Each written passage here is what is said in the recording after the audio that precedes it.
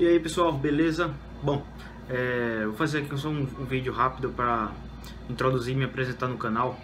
É, Pablo começou a fazer esse canal de retro games, é, a proposta de mostrar os consoles, como a gente está conseguindo buscar os consoles mais antigos, mais novos e fazer uma, uma interatividade melhor no jogo também, no jogo de Pokémon especificamente e lançando desafios e batalhas, etc. Bom, é, como ele já fez o primeiro vídeo, é, eu também estou fazendo esse, esse jogo com ele.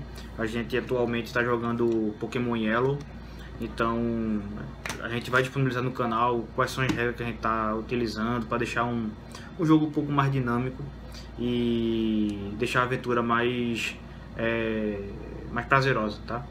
Então atualmente a gente está jogando Pokémon Yellow, que é esse cartuchinho aqui. A gente está fazendo uso do jogo original mesmo, com o cartucho, com o console.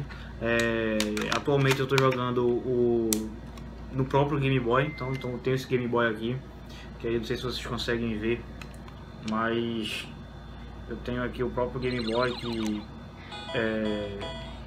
estou é, reproduzindo o jogo. Durante o dia é complicado estar tá jogando nele porque é um console que não tem é, luz própria né, na tela, no LCD. Daí eu uso, acabo usando o, o Game Boy SP, que já vem já com... Ele aceita a entrada do cartucho do Game Boy Color. E com a tela já mostrando o, o brilho, né, com a luz, tá? Então eu estou usando esses dois consoles para poder jogar esse, esse game é, cartucho original.